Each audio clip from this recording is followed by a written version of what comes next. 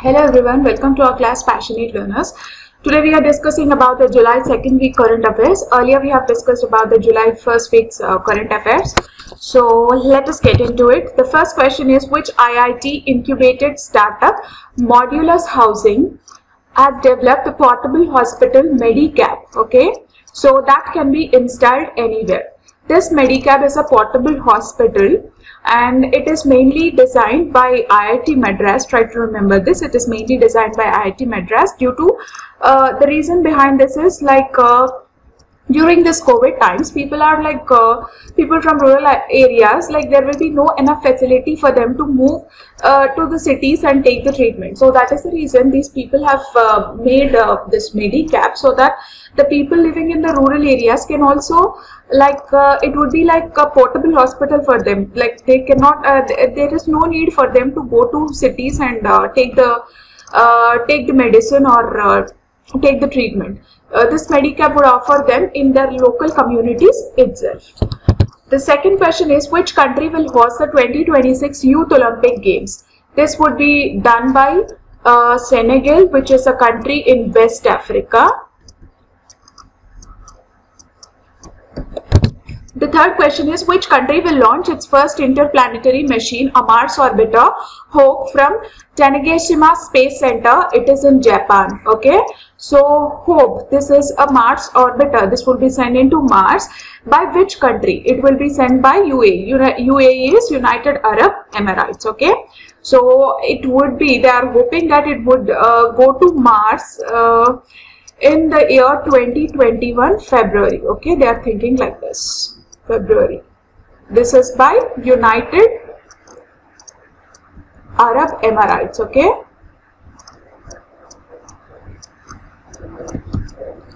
The fourth question is who has released the guidelines on digital education titled Pragnata? We have already discussed about this Pragnata. Pragnata is an online digital portal which provides education for children. During this pandemic times, the children are not allowed to go to school. So they would get the, the children would get the education from home, home itself by through this uh, online digital portal. And this was launched by Ramesh Pokhriyal Nishank. The fifth question is which day is observed as the International Nelson Mandela Day? It is on 18th of July, try to remember this, it is on 18th of July and 12th July is celebrated as Malala's Day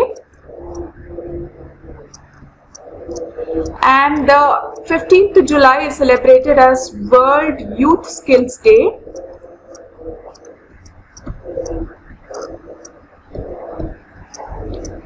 Yes, and uh, 11th July is World Population Day. Try to remember all these things. Sixth question is, a new four-story school building developed with the Indian assistance of rupees 1.94 crores has been inaugurated in which, which country? Okay, so it is inaugurated in the country Nepal. Try to remember, India has given its uh, financial assistance of rupees 1.94 crores. It is for providing the education. Okay. The seventh question is, which butterfly has become the largest butterfly in India? So uh, it's golden birdwing. It is from Himalayan region. Okay. It is from Himalayan region and its wingspan is uh, I think it is around uh, 198 mm. Okay, try to remember its wingspan is around 198 mm. Wings, uh, what do you call it as width or uh, uh some dimensions, it is 198 mm and with which country India has signed an agreement to further expand the collaboration in dealing with cyber threats and rapid digitalization. Okay, so as usual uh, during this COVID times, like many people are working through, uh, they are making use of this online uh, online thing for working. So at this time there are many chances of getting the cyber threats okay? In order to reduce the cyber threats and provide the proper protection our country india has joined its hands with israel to work forward in this uh, regarding the cyber threats and provide the proper protection to uh, all the online digital portals okay? Try to remember this. And with uh, bhutan it's uh, india signed the environment uh, protection thing. And with uh, Afghanistan it uh, signed the signed regarding education like to improve the education. And with Denmark India signed regarding the power okay? Power generation. Yes. Ninth question which state has uh, started health service at your doorstep initiative?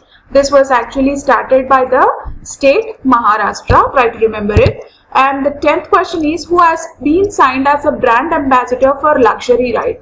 Luxury ride is something which is regarding the, it's a car showroom, okay? It's a car showroom and uh, Sukhbir Singh, uh, he's a singer and Sukhbir Singh is like, uh, he signed as a brand ambassador for this car showroom named Luxury Ride. 11th question is which country has formally notified the United Nations of its decision regarding the withdrawal from the global health uh, global health body WHO okay? WHO we all know it is World Health Organization. It's World Health Organization. So United States of America took a decision to withdraw uh, from the WHO because it stated many reasons like uh, uh, like the WHO is giving more importance to China rather than compared to any other countries. Okay, this is the reason which it stated while it was being withdrawn from WHO. Actually, it is the biggest uh, fund giver to this uh, WHO, and it gives around 450 million dollars to uh, to WHO. But now it has withdrawn its position from WHO. Try to remember this. And the 12th question is which Indian state celebrated the Rythu Dinotsavam, farmer's day, to mark the 71st birth anniversary of Mr. Y.S. Rajashekar Reddy, his late, okay. Uh, so it is Andhra Pradesh. The Andhra Pradesh state has celebrated it on July 8th, okay. Yes.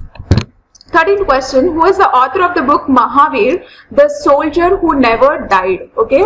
Uh, the book's author is A.K. Sri Kumar. This book was regarding a soldier okay. Who fought in Indo-China border? Who fought in Indo-China border? Okay. Uh, the soldier name is Jaswant Singh. Try to remember. Okay. Jaswant Singh. It's about him. The book is actually about him.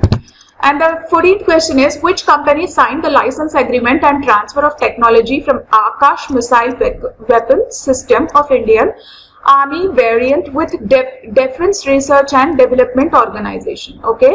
It's bharat dynamic limited which signed its license agreement with the uh, drdo defense research uh, development organization is it is nothing but drdo in order to develop this akash missile weapon 15th question is India's GDP will contract by how much percent in uh, financial year, FY means financial year 2021 because of the COVID-19 pandemic according to BOFA Securities. BOFA is nothing but Bank of America, okay? It's Bank of America according to according to their thesis like how much by how much India's GDP is going to get reduced due to this COVID-19 pandemic. It is around 3% okay gdp it is nothing but total amount of total amount of cost okay? Cost uh, total cost of goods and services okay? Goods and services or products okay? Uh, services of our country okay? Of our country or within the border okay? The amount of uh, the total products present within our country it is nothing but gdp so this is going to reduce by 3% according to bank of america due to the covid-19 pandemic 16th question is a three-member team has discovered a new species of a fan-throated lizard, Sitana darvernis, uh, from the barren lands of which Indian state? It is from Karnataka. Okay.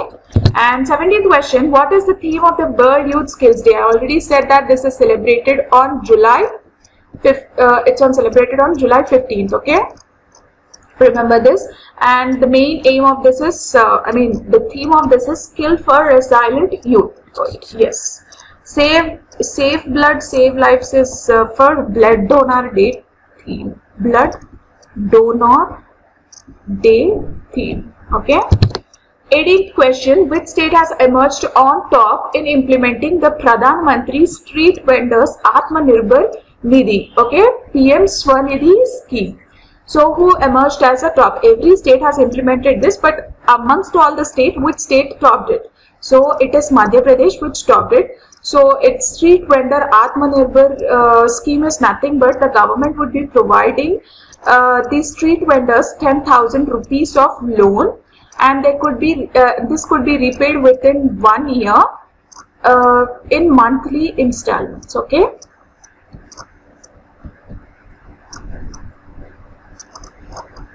so this was stopped by state Madhya Pradesh. You also need to remember that Madhya Pradesh has done many took many initiatives like Intezar Aapka. If you remember we have discussed it in the earlier class. Intezar Aapka it is nothing but to boost the tourism of Madhya Pradesh. And Hamara Ghar Hamara Vidyalaya. Hamara Ghar Hamara Vidyalaya. Okay? Yes who has set up the IFSC banking unit at Gift City in Gandhi Gandhinagar Gujarat Gift City is nothing but Gujarat International Financial Technology State okay let me write down Gujarat International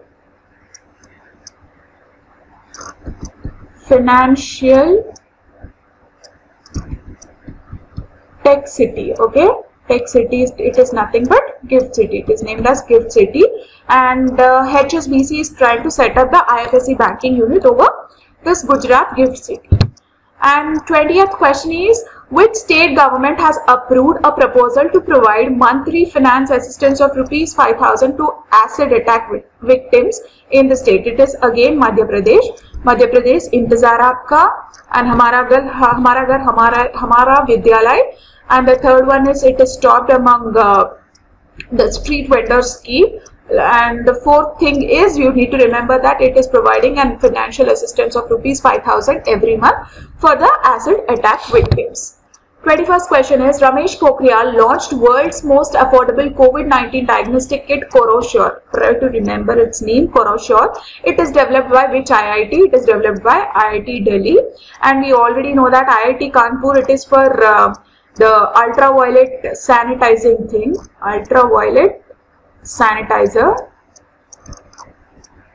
Yes, and IIT Delhi is for CoroSure.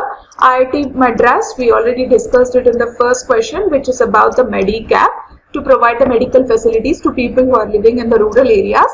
Uh, to provide them the particular uh, to provide them the proper treatment during this COVID times. And IIT Hyderabad in this IIT Hyderabad DRDO research cell has been made. Okay, they are making some research in this uh, IIT Hyderabad. Okay, research cell.